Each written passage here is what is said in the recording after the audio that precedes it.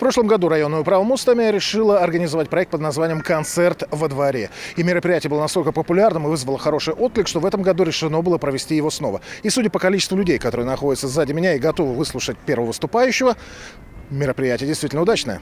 Идея дворовых концертов родилась в прошлом году, и жители Мустаме сразу же с энтузиазмом приняли этот новый формат мероприятий. Концепция дворовых концертов в Мустаме на самом деле очень проста.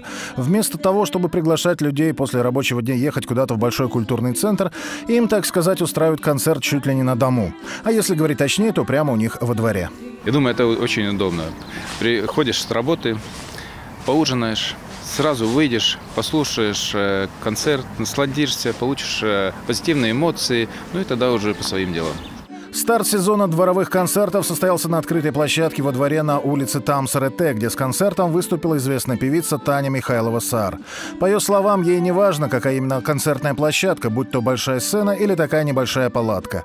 Главное — это подарить эмоции зрителям и зарядиться от них энергией. И самое главное — дать ощущение тепла и доброты, что очень важно, особенно в наше трудное время какая-то хорошая энергетика должна выходить от музыки. И нет разницы, она или такая задумчивая, медленная, или наоборот танцевальная.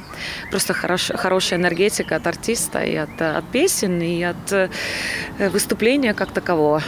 Каждый раз площадка дворика для следующего концерта будет выбираться отдельно, и о том, где пройдет следующий концерт, жители Мустами будут обязательно проинформированы. Каждый раз будет выбираться новый двор, у нас 12 мест.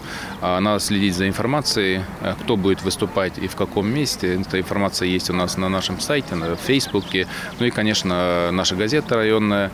Плюс еще уже следующую неделю все наши жители нашего района получат программу и почтовый ящик.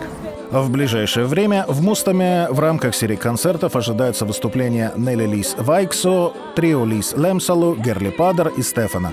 Вход на все концерты бесплатный, впрочем, и жителям других районов посещение необычных или, как теперь принято говорить, духоподъемных мероприятий вовсе не возбраняется.